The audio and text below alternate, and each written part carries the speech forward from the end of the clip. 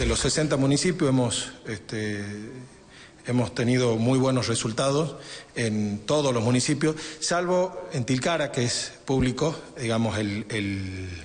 el desborde que se vivió allí eh, y donde entendemos de que eh, el municipio falló con los controles que tenía que hacer, falló en la articulación que tenía que hacer con eh, la Fuerza de Seguridad. nosotros hemos tenido, el secretario de Cultura de la provincia tuvo por lo menos cinco reuniones anteriores a Carnaval, este, donde hemos articulado y donde se ha trabajado, incluso también con el Ministerio de Seguridad, para que no haya desbordes. Y bueno, en todos los municipios se trabajó normalmente salvo en Tilcara, donde hubo una situación eh, donde te digo, eh, entendemos que fue el municipio el que, el que falló en los controles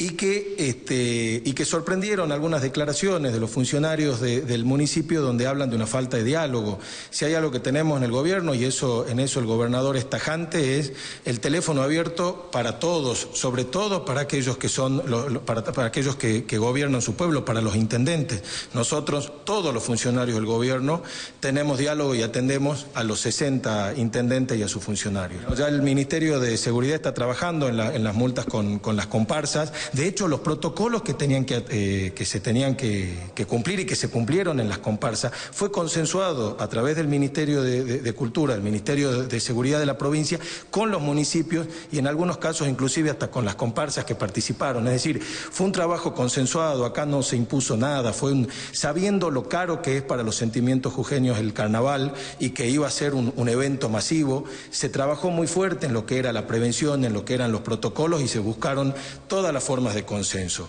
Este, por eso, bueno, nada, estamos, estábamos sorprendidos y nos pareció una irresponsabilidad del municipio de Tilcara. ¿no?